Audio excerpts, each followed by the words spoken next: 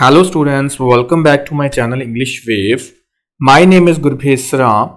In this video, I'm going to discuss second chapter of the ninth class Movements book and the name of the chapter is Adventures of Toto written by an eminent writer Ruskin Bond. So without any delay, let's start the chapter.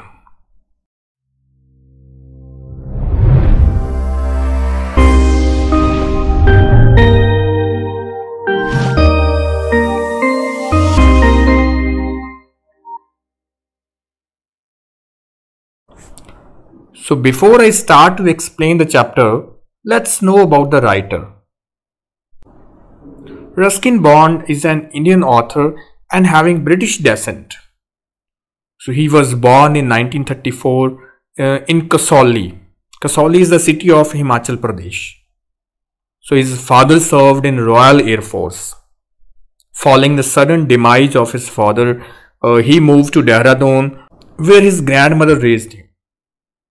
During his school years, uh, he won several writing competitions, uh, including the Halle Literature Prize. So, after completing his graduation, uh, he moved to London, uh, where he began to write his first novel. And the name of the first novel was uh, The Room on the Roof, which was all about the, the life of an orphaned Anglo Indian teenager. And the success of this novel gave him motivation to write down the sequel of this novel. So after some time he relocated to a beautiful town of Himalayan foothills and the name of town is Mussoorie. Till now he is living here and has written over 300 books. And some other notable works of Ruskin Bonds uh, includes Blue Umbrella, uh, A Flight of Pigeons, Funny Side Up, etc. So this was all about the writer. Now let's start with the chapter. Actually, Adventures of Toto is an amusing story which is highlighting the adventures of mischievous monkey. And the name of that mischievous monkey is Toto. So let's start reading the chapter. Uh, I want you to see the whole video because I'll be explaining the whole chapter line by line uh, followed by some difficult words and some important questions which are likely to come in your exams. So let's start. Grandfather bought Toto from a Tonga driver for the sum of 5 rupees. Now here narrator is himself Ruskin Bond and he's talking about his grandfather that his grandfather bought Toto from a Tonga driver and for how many rupees? For only 5 rupees. The Tonga driver used to keep the little red monkey tied to a feeding trough and the monkey looked so out of place that grandfather decided he would add the little fellow to his private zoo.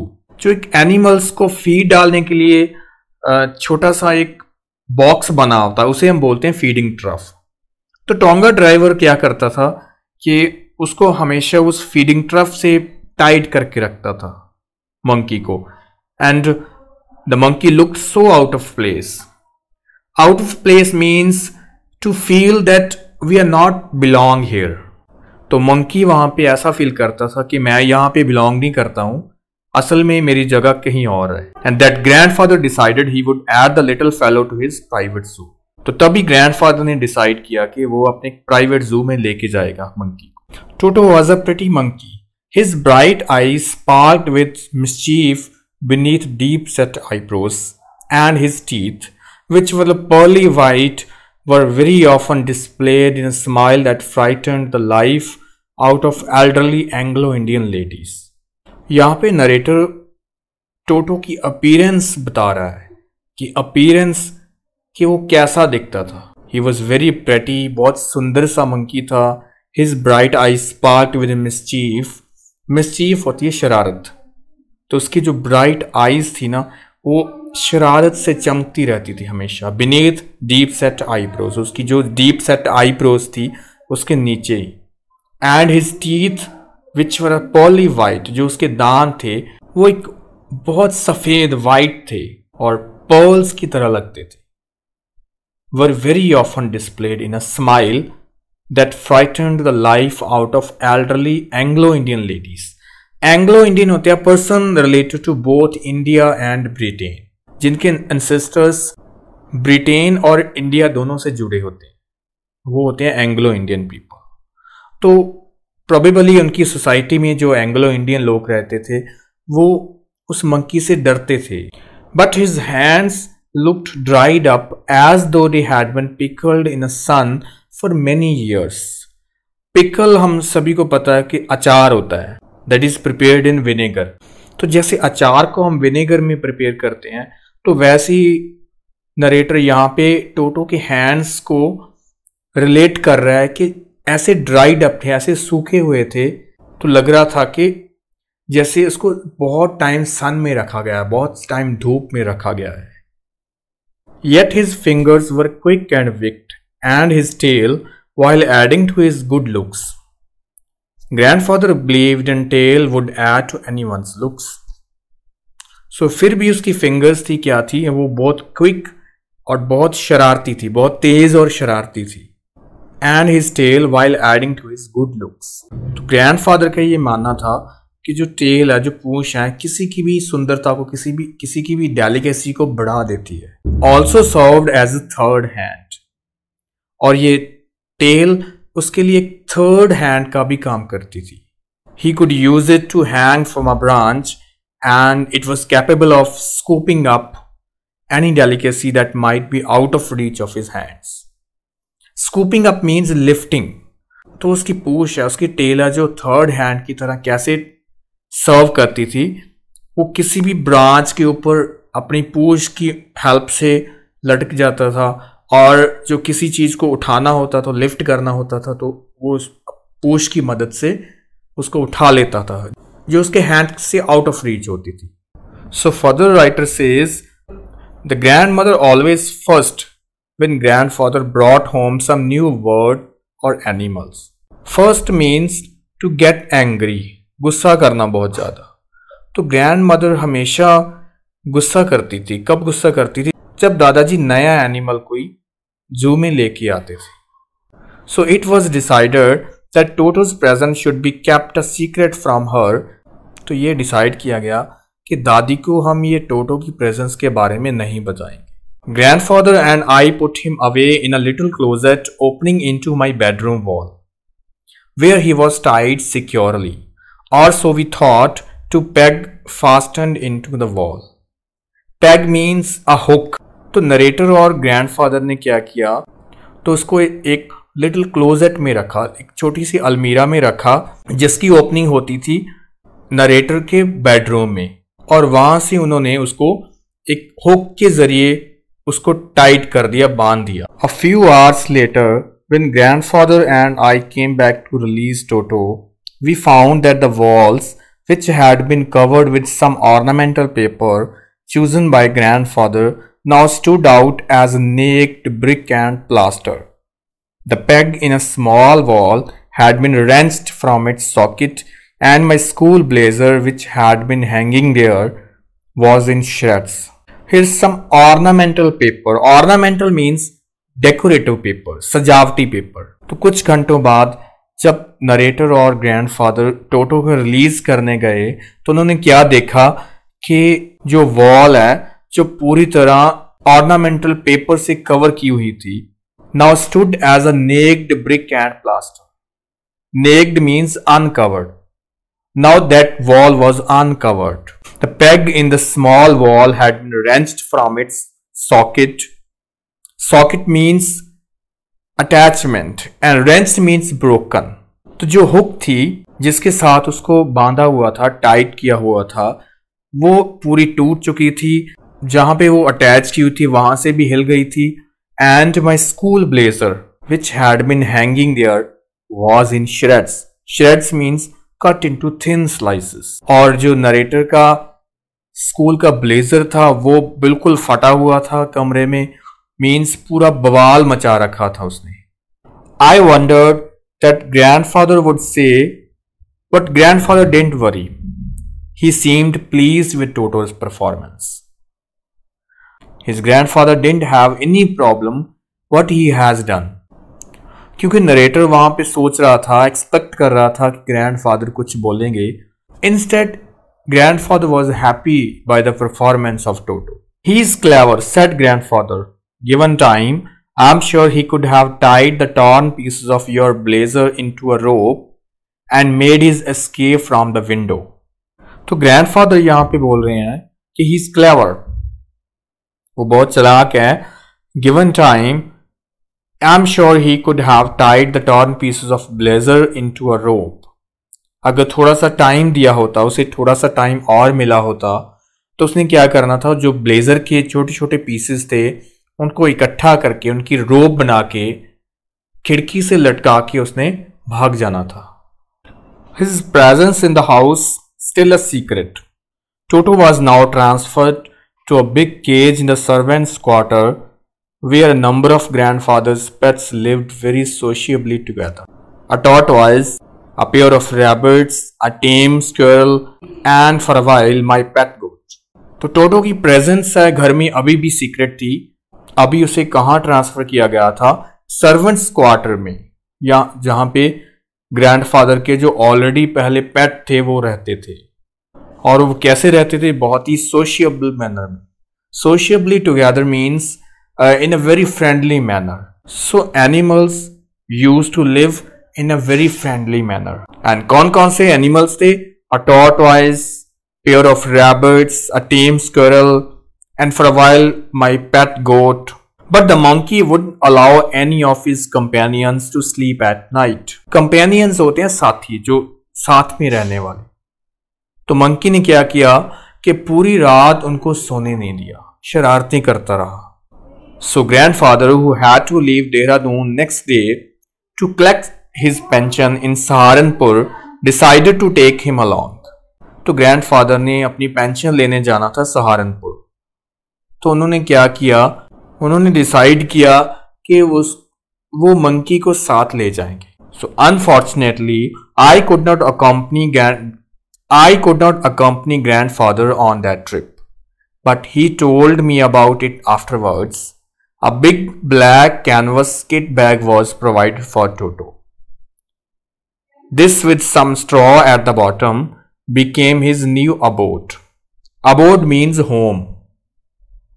तो ये बहुत unfortunate था कि जो narrator है वो grandfather के साथ नहीं जा सका उस ट्रिप पे लेकिन ग्रैंडफादर ने उसे बाद में एक्सप्लेन किया था तो जो अरेंजमेंट किए गए थे टोटो के लिए वो क्या थे एक big black canvas kit bag जो उनको जो तैयार किया गया था टोटो के लिए और जिसके बॉटम में एक स्ट्रॉ जितना होल था और टोटो को उसमें बंद किया गया था।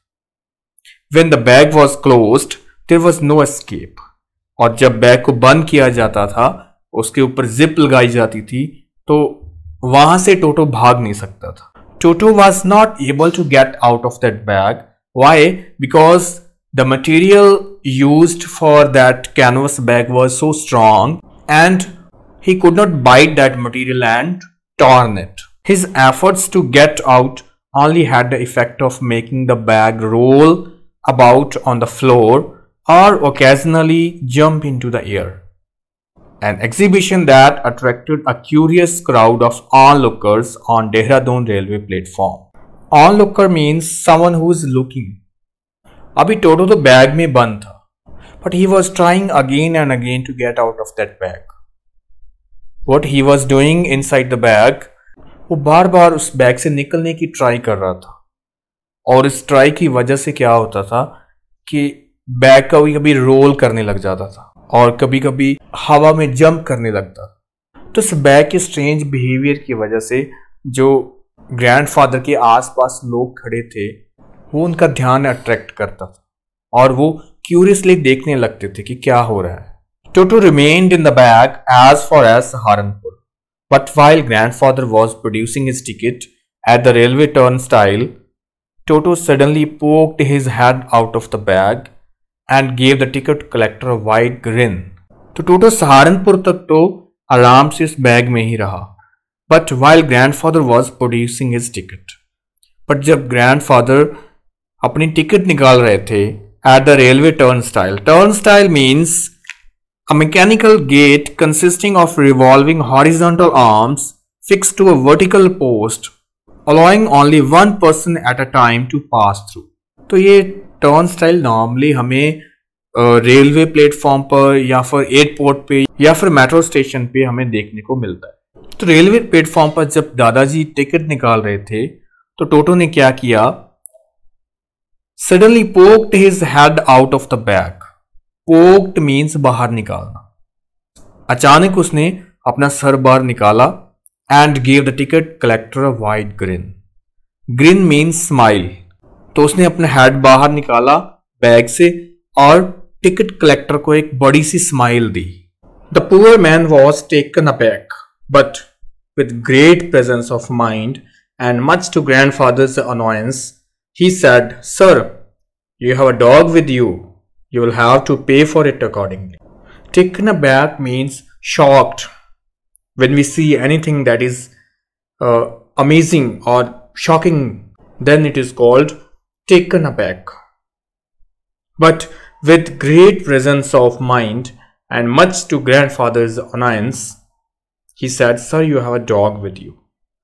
तो उसने अपनी प्रेजेंस ऑफ माइंड दिखाई shows a great presence of mind and prevent grandfather's annoyance he said sir you have a dog with you sir आप आपने एक सर आप एक डॉगी को साथ ले जा रहे हो।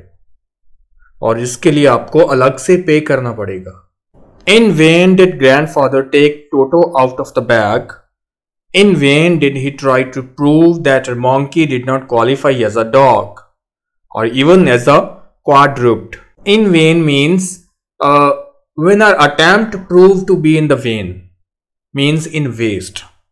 जब उनको भी अटेम्प्ट करते हैं और वो अनसक्सेसफुल हो जाता है our efforts has gone to vain so जब ग्रैंडफादर ने टोटो को बैग से निकाला और उसने ये प्रूव करने की ट्राई की that this is not a dog this is monkey and monkey did not qualify as a dog we can not consider monkey in the category of dogs. Quadruped means animal with four legs. Toto was classified a dog by the ticket collector, and 3 rupees was the sum handed over as his fare. Or as per rules, he has to pay 3 rupees for it.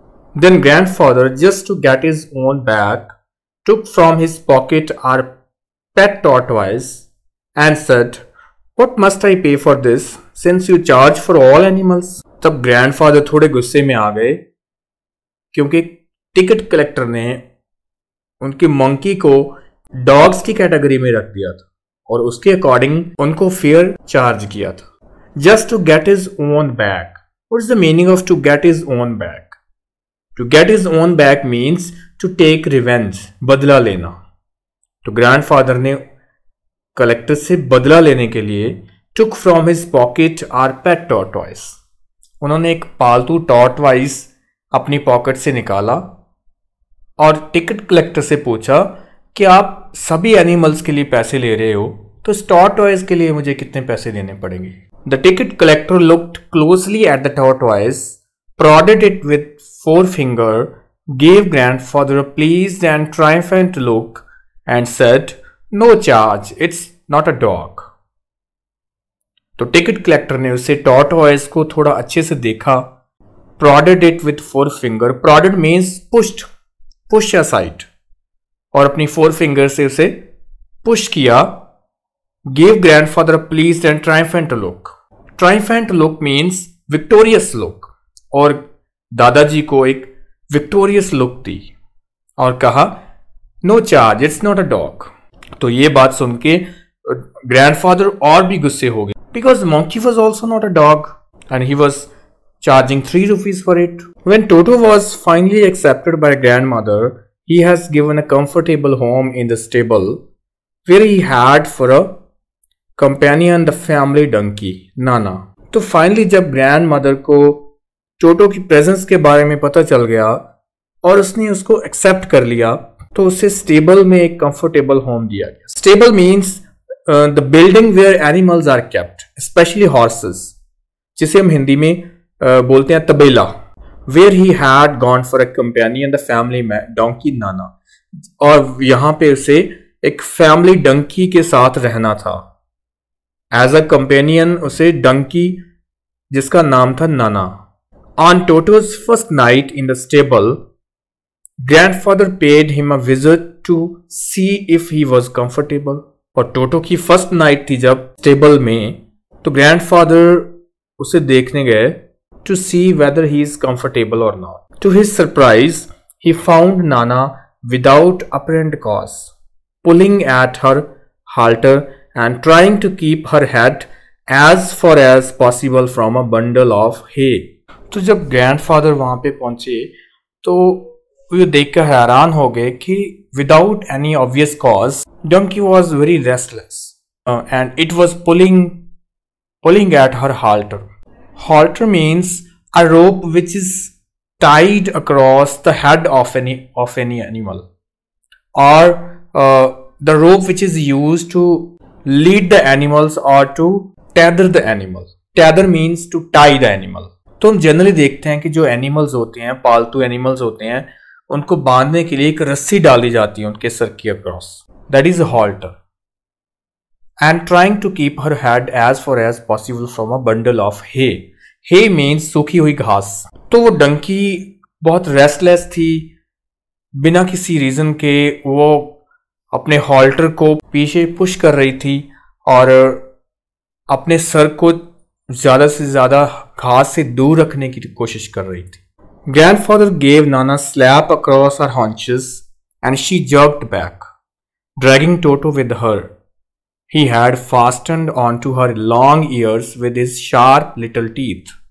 तो grandfather ने जब ये देखा कि डंकी ऐसे act कर रही है तो उन्होंने डंकी की बैक पे हांचेस मींस बैक उसकी बैक पे एक स्लैप लगाया एंड शी जर्क्ड बैक और वो एकदम डर के पीछे को हट गई ड्रैगिंग टोटो विद हर और और उसके साथ ही जो टोटो भी खींचा चलाया and what happened He had fastened on to her long ears with is sharp little teeth Toto ने डंकी के कान पे वो बाइट लगाया हुआ था इसलिए वो उसके साथ ही खींचा चला रहा था and writer explains here they both never became friends A great treat for Toto during cold winter evenings was the large bowl of warm water given him by grandmother for his bath. He would cunningly test the temperature with his hand, then gradually step into the bath. First one foot, then the other, as he had seen me doing, until he was into the water up to his neck. तो Toto के लिए सर्दियों में कौन सी बहुत बड़ी treat होती थी? वो होती थी वार्म वाटर में बाथ तो ग्रैंड मदर उसे नहाने के लिए वार्म वाटर देती थी। और टोटोस वार्म वाटर को ऐसे टेस्ट करता था पहले cunningly cunningly means skilfully artfully तो वो स्किलफुली वार्म वाटर की टेम्परेचर को टेस्ट करता था। कैसे टेस्ट करता था? पहले एक फुट रखता था अपना फिर दूसरा एंड जब तक पानी उसकी नेक पे नहीं आ जाता था। Once comfortable he would take the soap in his hands और feet and rub himself all over. When the water became cold, he would get out and run as quickly as he could to the kitchen fire in order to dry himself. तो एक बार जब comfortable हो जाता था नहाने में वो तो वो क्या करता था? उस सोप को अपने हैंड में लेके पूरी अपनी बॉडी पे रब करता था। और जब पानी ठंडा हो जाता था तो वो क्या करता था? वो पूरी स्पीड से किचन फायर की ओर भागता था अपने आप को सुखाने के लिए। During this whole performance if anyone laughs at him अगर कोई भी उस उसकी ये परफॉर्मेंस पर हंसता था तो ये उसकी फीलिंग को हर्ट कर देती थी और वो ऐसा करना बंद कर देता था। One day Toto nearly succeeded in boiling himself alive तो यहाँ पे नरेटर एक्सप्लेन कर रहा है कि एक दिन क्या हुआ कि टोटल ऑलमोस्ट अपने आप को अलाइव उबालने वाला था। A large kitchen kettle had been left on the fire to boil for tea, and Toto, finding himself with nothing better to do, decided to remove the lid. Finding the water just warm enough for a bath, he got in, with his head sticking out of the open kettle. This was just fine for a while until the water began to boil. Toto then raised himself a little but finding it cold outside sat down again तो एक दिन क्या हुआ कि kitchen में kettle में एक पानी रखा हुआ था उबलने के लिए, चाय बनाने के लिए। टोटो को कुछ और तो कोई काम नहीं था करने के लिए। तो वो जब किचन में गया तो उसने वो लिट को हटाया, ढक्कन को हटाया, और उसने देखा कि पानी थोड़ा गर्म है। तो उसे लगा कि ये नहाने के लिए सही है। तो उसने क्या किया? उसमें छलांग लगा दी। With his head sticking out from the open kettle और सिर्फ़ उसका हेड बाहर था। This was just fine for while तो पहले तो पानी इतना गर्म नहीं था, लेकिन धीरे धीरे पानी जब उबलने लगा then he raise himself a little वो थोड़ा सा ऊपर आया, बाहर आया, लेकिन फिर उसने देखा कि बाहर तो बहुत ठंड है। और वो फिर से दोबारा कैटल में बैठ गया। He continued hopping up and down for some time until grandmother arrived and hauled him half boiled out of the kettle. Hauled means to pull out. तो वो कैटल में तब तक छलांगे लगाता रहा, जब तक ग्रैंड मदर वहाँ पे आ नहीं गई और उसने उसको बाहर निकाला और अभी तक वो हाफ़ बॉयल हो चुका था if there is a part of the brain specially devoted to mischief that part was largely developed in Toto he was just tearing things to pieces Whenever one of my aunts came near him, he made every effort to get hold of her dress and tear a hole in it. तो narrator यहाँ पे बोल रहा है कि अगर हमारे brain में कोई ऐसा हिस्सा हो जो सिर्फ़ शरारतों के लिए डिवोटेड हो तो वो पार्ट टोटो का बहुत ज़्यादा डेवलप था मीन्स टोटो बहुत ज़्यादा शरारती था क्योंकि वो हर चीज़ को टेर अप करने में तोड़ने में फ़ेमस था तो नरेटर यहाँ पे बोल रहा है कि जब उनकी कोई भी आर्ट उसके पास आती थी तो वो अपना पूरा एफर्ट्स पुट कर देता था, उनकी ड्रेस को फाड़ने में और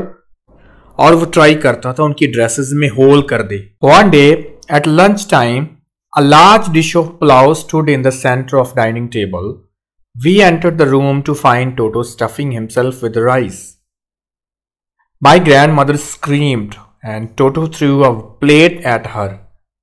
One of my aunts rushed forward and received a glass of water in the face. When the grandfather arrived, Toto picked up the dish of pulao and made his exit through a window. तो एक दिन क्या हुआ lunch time pulao की dish है जो dining table पे पड़ी हुई थी जब नरेटर के साथ उसकी आंट और ग्रैंड मदर रूम में एंटर हुई तो उन्होंने देखा कि टोटो ने राइस की प्लेट पकड़ी हुई है और वो उसको खा रहा है ग्रैंड मदर स्क्रीम्ड जब ग्रैंड मदर चिल्लाई तो टोटो ने क्या किया? प्लेट को उसके फेस पे दे मारा। One of my aunts rushed forward and he received a glass of water in the face और जब मेरी एक आंट थोड़ा आगे बढ़ी तो उसने पानी का गिलास उसके फेस पे डाल दिया। और जब ग्रैंडफादर वहाँ पे पहुँचे तो टोटो ने क्या किया? He picked up the dish of pulao and Made is exit through the window और वो पुलाव की प्लेट उठाकर विंडो के रास्ते बाहर भाग गया we found him in the branches of jackfruit tree the dish still in his arms He remained there all afternoon, eating slowly through the rice, determined on finishing every grain. And then, in order to spite grandmother, who had screamed at him, he threw the dish down from the tree and chattered with delight when it broke into a hundred pieces. तो जब टोटो को ढूँढने के लिए वो बाहर आए तो उन्होंने देखा कि वो जैक फ्रूट ट्री पे बैठा हुआ है और वो डिश अभी भी उसके हाथ में है। He remained there all afternoon और वो पूरा दोपहरा वहाँ पे बैठा रहा। वो राइस को स्लोली खाता रहा and then in order to spite grandmother spite means a desire to hurt someone क्योंकि ग्रैंड मदर उस पर चिल्लाई थी तो उसका बदला लेने के लिए उसको हर्ट करने के लिए उसने क्या किया he threw the dish down of the tree तो उसने वो प्लेट को ट्री से नीचे फेंक दिया और बिल्कुल तोड़ दिया and chattered with delight chatter is a sound created by animals, especially monkeys. Obviously, Toto was not the sort of pet we could keep for long. Even grandfather realized that we were not well to do and could not afford the frequent loss of dishes clothes, curtains and wallpaper. So grandfather found the Tonga driver and sold Toto back to him for only three rupees. तो finally narrator यहाँ पे बोल रहा है कि टोटो ऐसा pet animal नहीं था जिसे हम बहुत लॉन्ग टाइम तक रख सके क्योंकि वो बहुत तंग करता था, बहुत शरारती था। Even grandfather realise that और ग्रैंड फादर को भी अभी रियलाइज़ हो गया था that we were not well to do well to do means very wealthy and could not afford the frequent loss of dishes clothes curtains and wallpapers and here narrator says that we were not from a wealthy family and we could not bear the loss of curtains dishes clothes and so on so grand father found the tonga driver so finally grand father ने क्या किया? उसी same tonga driver को ढूंढा, जिससे टोटो को purchase किया गया था और उसी को उन्होंने for only three rupees this sold him so this was all about the story I hope you have understood it well it was very interesting story and now I am going to put some question based on this story try to answer these questions so that's all with this session if you like my videos please do share subscribe to my channel if you have any query regarding this chapter, please put those queries in the comment box. I'll try to answer those queries. So thanks for watching. I'll see you in the next video.